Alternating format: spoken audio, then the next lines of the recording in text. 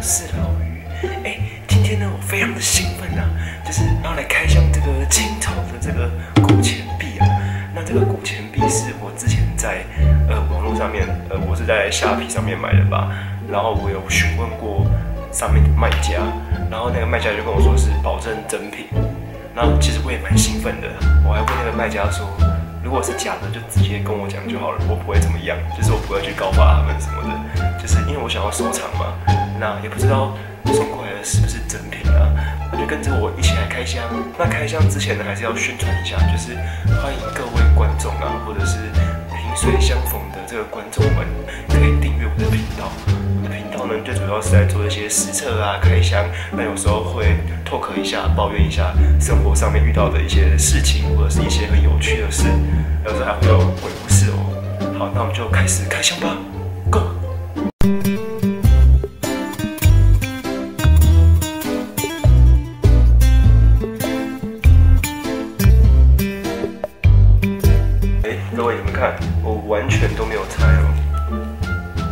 完全都没有拆，这是新的。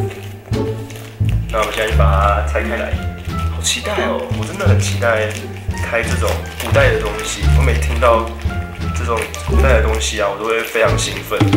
我也没有买很贵啊，我买几千块而已。对，其实不算不算贵啦，所以其实我自己也不知道这个是不是真的。那我们现在用尽全力的撕完了第一层，结果结果是一个白蓝色的盒子。我们还要再继续拆，这是俄罗斯娃娃。好，打开了，打开了。哦，我们成功打开来了。嗯，哇哇，一堆泡泡纸哎，没了，就这样。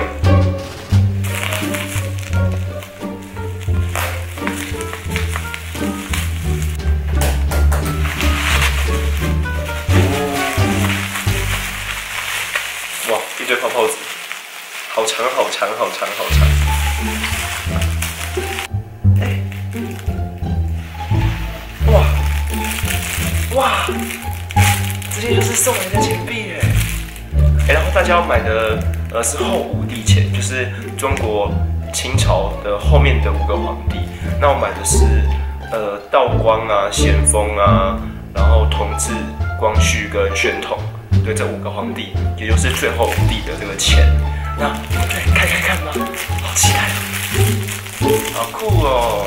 哎，它包装的很漂亮哎，它就是这个卖家，他说他会在，他说他会在上面再加，就是一些他们的画像。你看，这个是溥仪的，这是溥仪的钱，拆开给大家看好了。它上面还有写，哦，字有点小了，但是它这里啊，它这里还有写保证真品。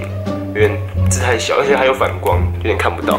反正大家是可以看到啊，就是这个是溥仪的这个画像，那其实做的蛮精致的哦。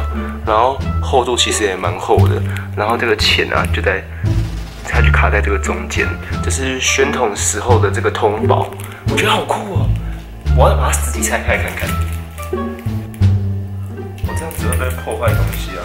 哎，它包的很漂亮哎。它包的很美呢，大家你们看，这是我开箱完的这个溥仪的这个钱哦。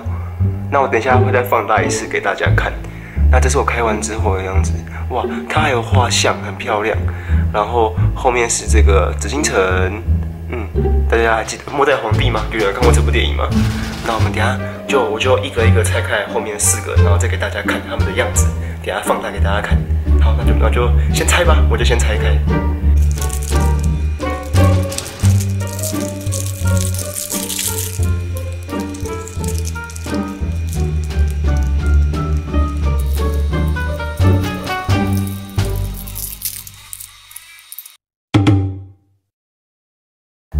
嘿，大家。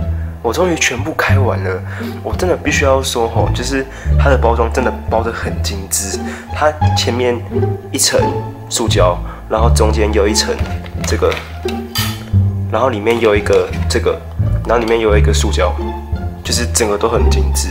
那我由年代顺序排下来，那这个图片是他们自己再加上去的，他们为了好看这样子。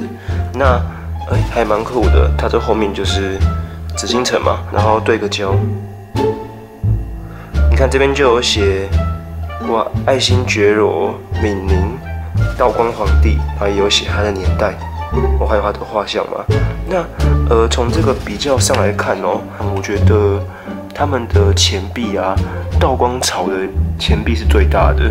你看这边有写，这边你看道光通宝，哦，而且它比较黑，它比较黑。然后后面，后面应该就是它的满文，对，应该是这么大的这样子。那相比之下，哦，我直接拿，我直接拿道光跟那个溥仪的来跟大家比好了。对，那你看，大家看溥仪的，我们这个小皇帝这边也写宣统。通宝，不知道大家有没有看清楚？在这里，它它有点糊了。宣统，宣统，大家如果有看清楚的话，宣统通宝。然后大家也可以看到后面也是写满文哦，这是是道光年间的，这是宣统年间的，这个很明显吧？那为了大家方便辨认哦，这个是现代的十块钱嘛？那你们看，其实十块钱还是比那个。道光年间的这个通宝还要大哦，稍微大一点点，稍微大一点点这样子，大家可以去看一下。那这是后来的咸丰，咸丰是比那个咸丰是比道光还要再小一点点。然后材质的话，我不知道是他送过来的货品质不一还是怎么样。我觉得这个咸丰的好像比较稍微黄一点点，对。然后后面也是有满纹哦，后面也是有满纹。这样我觉得蛮酷的啦。那大家再回来看这个宣统年间的，有没有发现它就整个很铜黄的感觉，跟前面的比起来有没有？这个就是很黑黑灰，那这就是黄的。那同治年间，同治年间感觉就是还是差不多。你看这个同治年间的这边，大家可以看清楚，这边也是写同治。没关系，我直接拿在手上给大家看好了。这就是同治的通宝，嗯，大家这样看得清楚吗？同治通宝，然后后面的话也是有满文哦。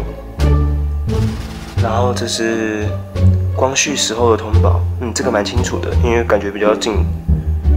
嗯，然后后面也是一样是满文，对啊。那从这个时候开始，感觉就是比较黄了，大家有感觉到吗？